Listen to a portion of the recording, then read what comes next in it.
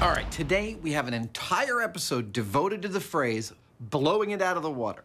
Which has come to mean a kind of overwhelming victory against the enemy, right? Exactly right. But first, we're actually going to test the literal meaning of the myth, which comes from submariners from World War II. Apparently, occasionally, when they sent a torpedo toward a ship, they would watch that ship blow completely out of the water instead of blowing up. How epic are we going to take this? I figure we got to get pretty epic with it. Cool. And to find out just that, the Mythbusters are starting in miniature. So, we're going to start with this beautiful tank. It is large enough for us to detonate our miniature explosives. Oh, and our boat, which still needs a little bit of work. Okay, from halfway down the tank, three, two, one.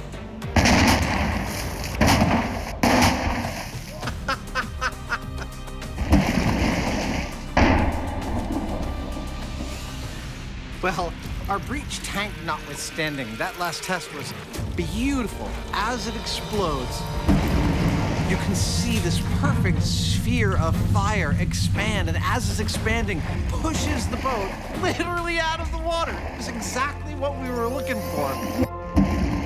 Oh, that boat is going straight up. It's lifting it beautifully. It made it at least to the rim of the At tank. At least to the rim of the tank. That's significant. Adam and Jamie's small-scale tests Whoa! showed that a mid-depth boom could lift a ship up and out. It's lifting it beautifully. But can they repeat this feat when they go large? And it's in pit 232 that we're going to put this boat along with a buttload of explosives and see if we can't blow it out of the water. That's a lot of steel. And she's in. The team tows the bomb to the boat before sinking it to a depth of 30 feet, exactly midway between the bottom of the hull and the bottom of the lake. Then it's go time. It's all ready to go.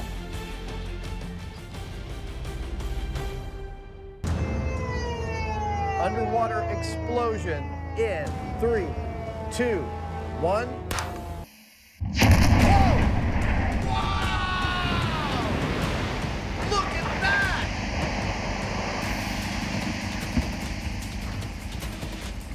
That was astonishing.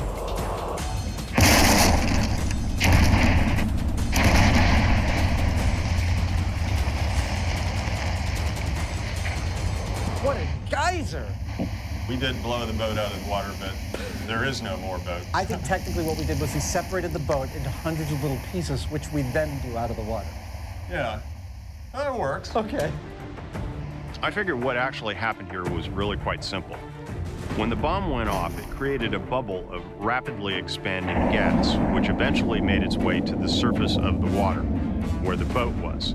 Now that opened effectively a conduit through which all of that energy could flow, where it can follow a path of least resistance, and that happened to be straight up right through the bottom of that boat, and that's why it was so destructive.